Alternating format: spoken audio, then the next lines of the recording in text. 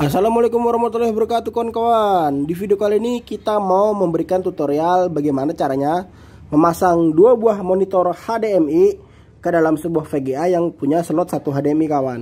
Nah di sini saya sudah menyiapkan sebuah konverter dari DVI kawannya DVI yang 24 pin plus 1 Kita akan konverter ke HDMI kawan. Jadi ini kan monitor dua-duanya HDMI ya. Nah langsung aja kita mulai.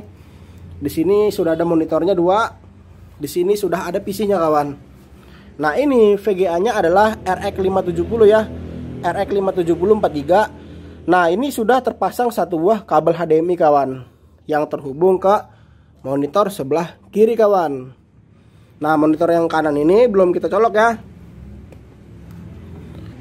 Nah, ini kabel HDMI-nya ya, langsung kita colokin ke dalam konverternya. Lalu konverter ini kita colokin ke VGA kita kawan ya. Seperti ini. Ya, nah kalau sudah tercolok seperti ini ya, pastikan kencang ya. Nah ini adalah monitor pertama, ini monitor kedua. Sekarang monitor kedua sudah mulai mendeteksi ya bahwa dia itu udah dicolokin. Langsung kita nyalahin komputernya. Oke, sekarang komputernya sudah menyala. Keyboard sudah menyala. Ya, ini baru membuka BIOS ya, dia bareng ya. Kalau di dalam BIOS dia bareng.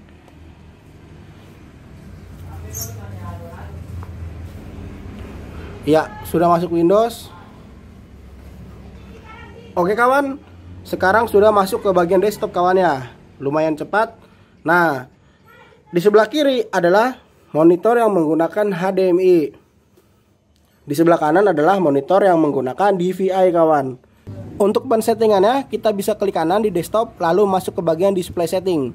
Nah, di, di dalam display setting ini udah terbaca ya ada dua buah monitor monitor pertama dan monitor kedua. Nah, kalau kita klik di monitor pertama, ya, ini kita klik di monitor pertama, lalu kita scroll ke bawah, dia ngasih tahu kalau ini tuh udah jadi display utama ya, make this my main display. Nah, dengan ciri-ciri dia itu ada shortcutnya kawan di sini, gitu. Jadi kalau kita pilih, kita kalau kita pilih ke display kedua ya, nih kita klik, lalu kita centang di bagian bawah, di bagian sini, maka displaynya ini sebagai extended kawan. Jadi yang sebelah sini tuh sebagai extended. Tuh ya hilang ya. Hilang shortcutnya dia pindah ke sini.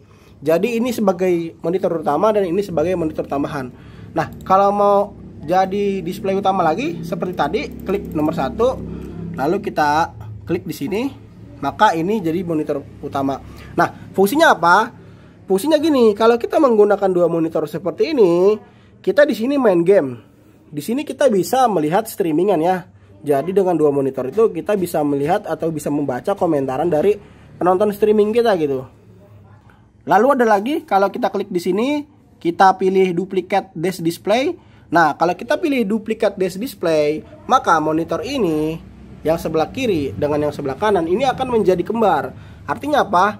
Artinya monitor yang kita lihat di sini, yang kita pakai dengan monitor yang di sini itu sama gitu tuh ya. Sama ya. Biasanya ini digunakan oleh orang-orang yang sedang kayak pameran di toko gitu kan di kompetisi. Jadi apa yang dimainkan oleh si player ini akan sama dengan apa yang dilihat oleh penonton.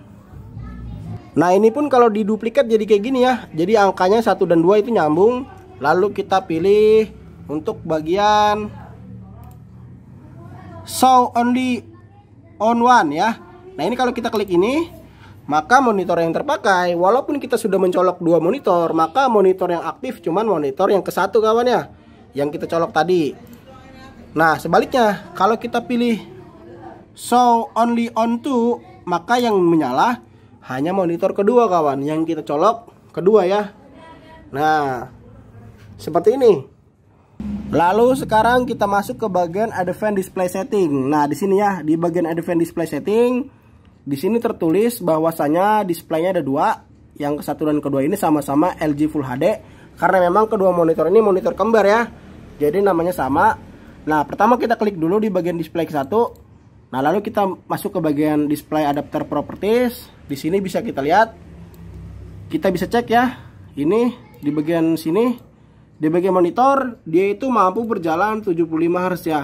Jadi monitor yang ke satu ini dengan konektor HDMI berjalan 75 Hz. Oke. Lalu kita bisa cek di bagian monitor kedua, display 2 ya. Nah, di display 2 juga kita bisa ngecek display adapter properties. Di sini kita akan lihat berapa dia berjalan. Nah, dia cuma berjalan 60 Hz kawan. Ini nggak bisa dirubah ya tuh. Kenapa cuma 60 Hz? Padahal kedua monitor ini sama. Kedua monitor ini kembar, mampu berjalan 75 Hz. Tapi untuk display kedua ini mentok di 60 Hz. Kenapa? Karena di sini kawan. Karena ini untuk monitor kedua hanya menggunakan DVI ya. Ini kan HDMI, ini DVI colokannya. Jadi ya gini lah. Refresh rate-nya nggak sama gitu kan. Tapi nggak masalah. Biasanya orang menggunakan dua monitor ini. Yang pertama untuk dia main game sambil streaming. Yang kedua biasanya dipakai untuk baca-baca komentar kawan. Nanti komentar netizen di sini ya sambil dia streaming gitu kan. Nah sekarang kita mau masuk lagi, sekarang kita ingin menyatukan dua buah monitor ya. Nah ini kan monitor utama dan ini monitor extended. Bagaimana caranya kita ingin menyatukan dua monitor ini menjadi sebuah satu resolusi. Jadi seolah-olah dengan dua monitor ini seperti satu monitor yang lebar ya. Jadi dua buah monitor disatukan seperti satu, sebuah monitor yang lebar. Bagaimana caranya? Pertama-tama kita masuk dulu ke bagian AMD Radeon setting. Lalu kita masuk ke bagian setting ya. Nah di bagian setting kita masuk ke bagian display. Di bagian display, kita scroll ke bawah ya. Ini kan ada dua buah monitor nih. Tuh display satu dan display dua. Pokoknya kita scroll dulu ke bawah. Nah, di bagian sini ada yang namanya AMD Infinity nih. Nah, lalu kita klik di bagian tanda plus, quick setup. Nah, sekarang dia sedang memproses menyatukan dua buah monitor padahal ini refresh rate, refresh rate-nya beda ya. Menjadi sebuah monitor beresolusi panjang kawan. Oke. Sekarang ini sudah berhasil ya sudah berhasil dijadikan sebuah monitor beresolusi yang sangat panjang. Kita bisa cek ya dengan cara membuka Google. Nah, ini kita bisa nih membuka Google tuh, lihat. Nah, lihat, ini monitornya jadi jadi nyambung kawan. Cuman sayang ini frame terlalu tebal ya. Ini kalau frame tipis jadi seperti monitor yang nyambung ya. Oke kawan, jadi nih bisa kita klik ya. Nih, bisa kita geser-geser tuh. Ya, jadi kita sudah berhasil ya kawan ya men-setting dua buah monitor menjadi satu monitor atau sekarang bisa kita lihat ya bahwa resolusinya pasti akan berubah kawan. Nah, ini resolusinya ya. Nah, sekarang resolusinya adalah 13 3840 kali 1080. Biasanya kan 1920 kali 1080. Nah, karena ini dua buah monitor yang disatukan ya, yang disatukan seperti ini, maka resolusinya menjadi seperti ini kawan. Jadi resolusinya jadi panjang banget. Oke kawan ya sekarang ini mau kita tutup dulu. Kita balikin dulu ya ke posisi semula. Nanti kita akan gunakan monitor ini seolah-olah menjadi monitor streamer kawan. Nah di bagian sini kita discard dulu ya. Di bagian AMD Infinity nya kita discard. Yes. Nah kita batalin ya. Oke, nah sekarang sudah menjadi monitor pada umumnya ya. Monitor biasa. Oke kawan, sekarang multiple displaynya udah kita masukin ke mode extended lagi ya. Nah di sini kita udah membuka suatu game Dan ini ceritanya udah lagi live streaming nih Ceritanya, jadi di sini tuh ada ada aplikasi Google Chrome ya. Jadi kita bisa pindahkan ke sini Kita geser ke monitor sebelah. Nah di monitor sebelah kita bisa full screenin. Nah jadi di monitor sebelah ini seolah-olah full screen mantau streamingan kita. Di sini kita bisa main gamenya kawan. Sambil buka OBS sambil main gamenya. Nah gitu kan? Jadi di sini tuh kita bisa main game. Ya di sini kita bisa streaming. Tuh ya. Tuh. Kita bisa bacain komentar mereka di sini. Sementara kita lagi main game gitu kan oke kawan. Jadi mungkin segini aja video tutorial dari saya. Bagaimana caranya men-setting dua buah monitor dengan konektor HDMI walaupun colokan HDMI cuma ada satu kawan ya. Biasanya dipakai buat ngedit ngedit-ngedit buat streaming. Ini udah mantep banget.